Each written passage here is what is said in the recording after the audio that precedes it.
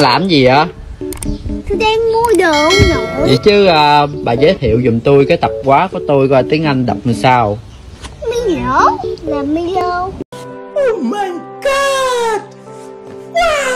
ừ. Bịch Milo là bịch Milo ừ. Hộp sữa là sữa Dầu ăn là dầu ăn. Bơ là bơ. Kem đánh rảnh Kem đánh gẳng là kem đánh Masuna là Masuna trời ơi. Ê ê ê ê tôi nghe đồn bà là idol tiktok phải không?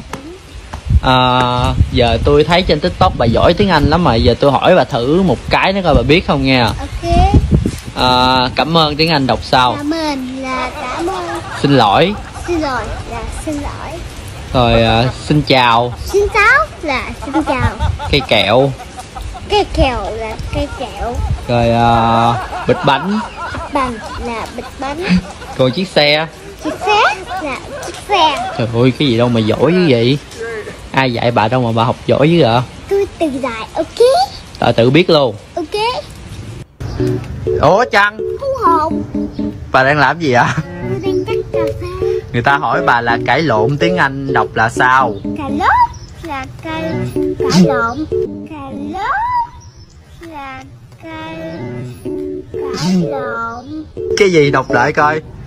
Cà lốt là cà lộn. Trời ơi hay vậy.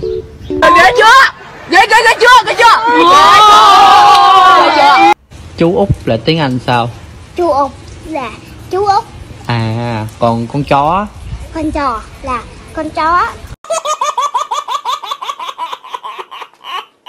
Trời ơi còn con gà. Con cá là con gà. Còn con cá. Con cà là con cá. Rồi bà còn biết cái gì khác nữa không? Biết quả dưa hấu là quả dưa hấu. Rồi gì nữa? Cái cá là cái nhà. Ừ.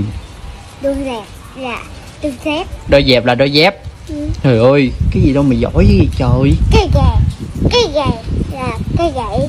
Cây gậy là cây gậy. Ừ. rồi gì nữa. Cây cắn Cây cắn là cây căng. Rồi gì nữa. Lắp nhá là lắp nhà. Tôi thấy là bà giỏi lắm rồi đó thiệt á. Chứ chuyến này vô học chắc trời ơi thầy cô khen bà lắm á